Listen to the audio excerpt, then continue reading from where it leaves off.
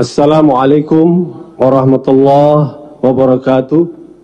Salam sejahtera untuk kita semua. Saya Al Zamil Yusuf, A420 Dapil Lampung. Kami bersyukur dan kita semua bersyukur bahwa pada beberapa hari terakhir ini Majelis Ulama Indonesia beserta beberapa ormas agama dan beberapa pihak yang peduli kepada eksistensi keluarga telah menolak rencana pertemuan LGBT se-ASEAN pada 17 sampai 21 Juli di Indonesia dan kita bersyukur kalau kita dengar bahwa ini mereka batalkan. Semoga demikian adanya. Tentu perlu perhatian para aparat keamanan Kemlu kita untuk memastikan hal ini tidak boleh terjadi. Kenapa? Karena HAM Indonesia bukanlah HAM liberal. HAM Indonesia HAM berketuhanan sebagaimana diatur dalam undang-undang HAM kita. Berbasis pada Pancasila ideologi kita sila pertama ketuhanan yang Maha Esa.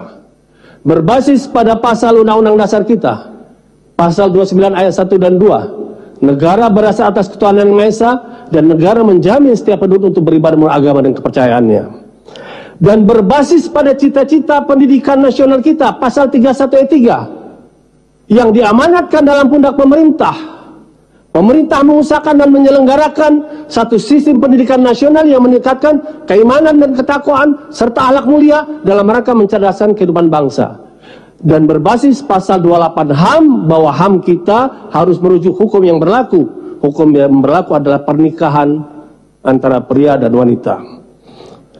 Dan penolakan terhadap berbagai kegiatan LGBT ini bukan hanya di kita Bukannya di dunia yang menghormati agama. Bahkan di negara barat sendiri telah muncul Family Watch International. Protect Our Children. Children Rich. Yang menyatakan bahayanya gerakan ini merusak sehingga generasi baru anak-anak kita tidak kenal lagi apa jenis kelaminnya. Bahkan gerakan mereka telah memasuki tahap di mana anak yang lahir tidak perlu dicatat apa jenis kelaminnya tergantung dia nanti memilih pada usia 17 dan 18 tahun. Oleh karena itu melalui forum ini kita sebagai anggota dewan dan bersama pemerintah untuk menjamin tidak boleh terjadi perusakan generasi kita dengan hal-hal yang tidak sesuai dengan ideologi bangsa dan undang-undang dasar kita. Demikian pimpinan. Assalamualaikum warahmatullahi wabarakatuh. Allahu Akbar. Merdeka.